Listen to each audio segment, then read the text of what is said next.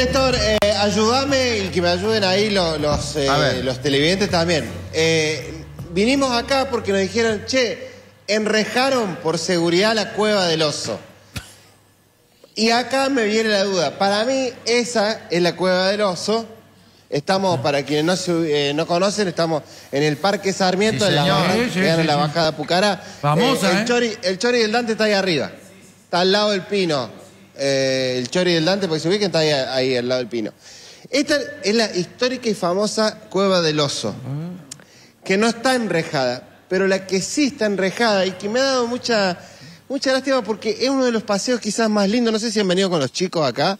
Eh, les fascina entrar a este túnel. Este túnel fue construido por, el ferroca- por la empresa de los ferrocarriles Sí. para hacer una prueba de cómo se comportaba el terreno cordobés al atravesar eh, la Tosca, que es esta, tierra que tiene el parque, el parque Sarmiento, este pedazo de como de una tierra arcillosa. Entonces hicieron este, este túnel era una prueba para ver después cómo iban a trabajar, por ejemplo, en lo que es el tren de las sierras, eh, para penetrar la montaña y hacer los trazados de cosas. Bueno, lamentablemente hemos llegado a este punto.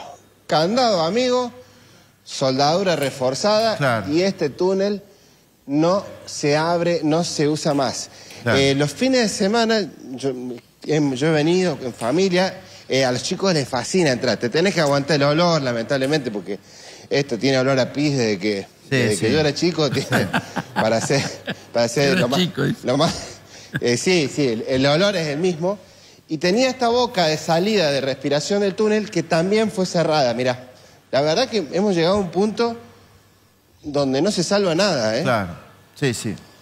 Completamente sellado. Esto, esta pared que ustedes están viendo acá, pared de concreto, Sí. eh, era una boca abierta que tenía el túnel a la- casi justo a la mitad. Más o menos debe tener unos 25 metros, lo que muchos confunden la cueva del oso a es, con este túnel. La cueva del oso es la primera que le mostramos, Sí. que está, está abierta, no, no está enrejada. Pero este túnel, que sí, que muchos le decimos la cueva del oso, lo tuvieron que enrejar por la inseguridad.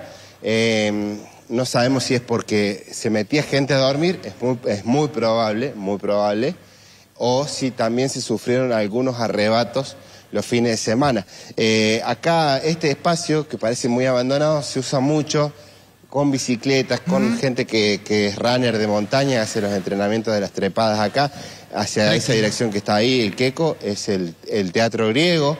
Eh, así que, si bien no es de las partes más conocidas del parque, se usa mucho, bueno, este túnel no se va a usar más por seguridad.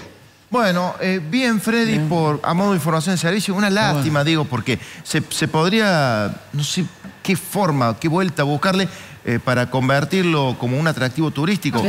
Pero si lo dejas abierto, paseo, Freddy circuito, bien lo contaba. O sea, el tema de la vandalización, el tema de la seguridad, porque muchos aprovechan ahí para esconderse y Claro, asaltar claro. a la gente. delinquir. Eh, sí, eh, para actos indebidos, vamos a ser sinceros Sí. también. Sí, sí, eh, sí, porque la verdad que es, popular por eso también. Con la moral. Sí, sí, pues, va- vamos a ser sinceros también. Bueno, eh, se junta todo, pero sobre todo hoy con el tema de la inseguridad. El tema de la seguridad porque muchos lo, apro- lo- lo- lo utilizan para eso, lamentablemente. Así que bueno, eh, una lástima. Ojalá se le busque la vuelta para que no, no sea cerrado, no esté el candado ahí y se pueda incorporar como parte, no sé, de un recorrido turístico, qué sé yo. Pero bueno, hoy la realidad es esa.